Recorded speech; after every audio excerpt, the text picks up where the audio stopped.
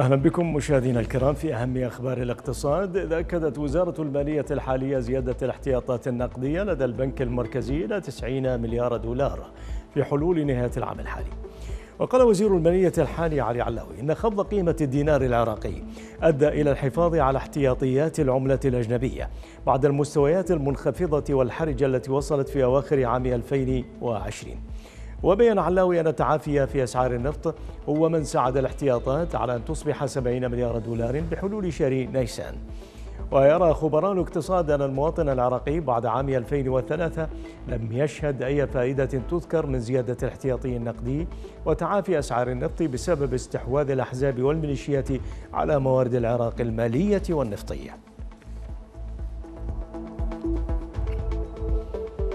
في إطار استمرار الصراع بين شركاء العملية السياسية ذكرت مصادر برلمانية أن إخفاق حكومة الكاظمي في إدارة الملف الاقتصادي قد فاق ملازمات وتسبب برفع التضخم وزيادة الأسعار كثيرا وأضافت المصادر أن العراقيين يشكون غلاء المعيشة وازدياد الأسعار وتراجع قدرتهم الشرائية. فضلا عن ازدياد معدلات الفقر في البلاد في ظل غياب مراقبة الأسعار من الأجهزة الحكومية المعنية.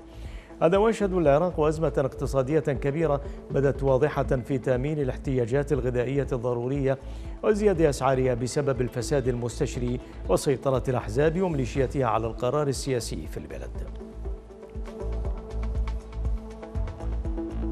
أكدت مصادر لبنانية تفاقم انهيار العملة اللبنانية مع تجاوز الدولار 33 ألف ليرة وسط حالة ضبابية سياسية بعد إجراء الانتخابات البرلمانية اللبنانية.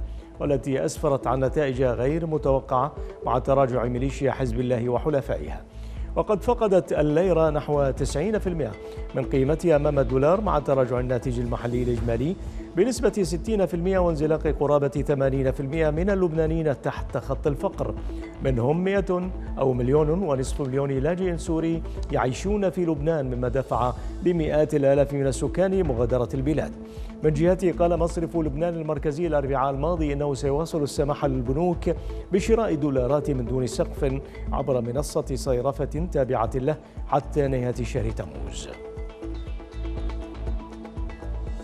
انتهت مدة سريان الترخيص العام من وزارة الخزانة الأمريكية الذي سمح لروسيا بسداد مدفوعاتها لخدمة ديونها الخارجية. فقد أعلنت الوزارة الأمريكية أنها لا تعتزم تمديد مدة سريان الوثيقة التي صدرت في شهر أذار وبفضلها استثنيت مدفوعات خدمة جزء من الدين السيادي لروسيا من العقوبات المفروضة عليها. ويرى مراقبون أن رفض تجديد الوثيقة. يؤكد أن الجانب الأمريكي يفضل إجبار موسكو على إعلان التخلف عن السداد بدلا من دفعها إلى فرغ خزينتها لمصلحة المستثمرين الأمريكيين. ازدادت أسعار النفط في التعاملات مدعومة بنقص الإمدادات واحتمال زيادة الطلب. فقد ازدادت العقود الآجلة لخام برنت لشهر تموز دولارا و27 سنتا إلى 114 دولارا و33 سنتا للبرميل. وازدادت أيضا العقود الآجلة لخام غرب تكساس الوسيط الأمريكي لتسليم شهر تموز. ازدادت دولارا واحدا و27 سنتا أي لتبلغ 111 دولارا للبرميل.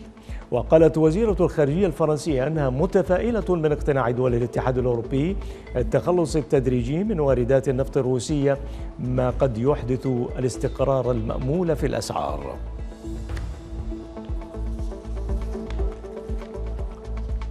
هذه انتقال مشاهدينا الكرام إلى أسعار صرف العملات الأجنبية وأسعار المعادن أيضا.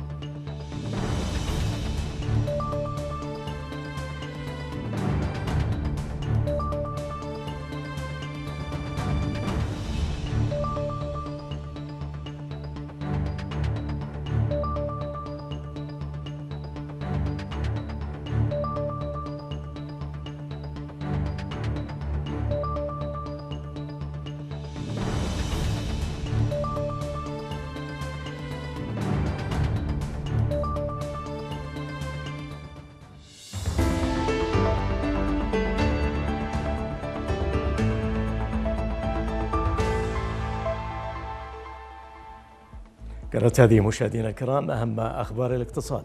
إلى اللقاء.